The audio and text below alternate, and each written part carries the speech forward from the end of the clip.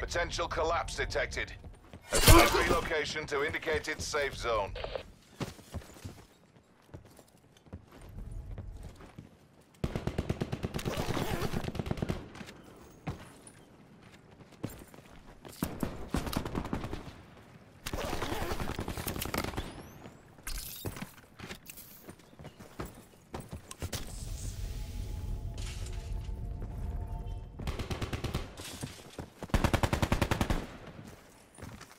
Hmph!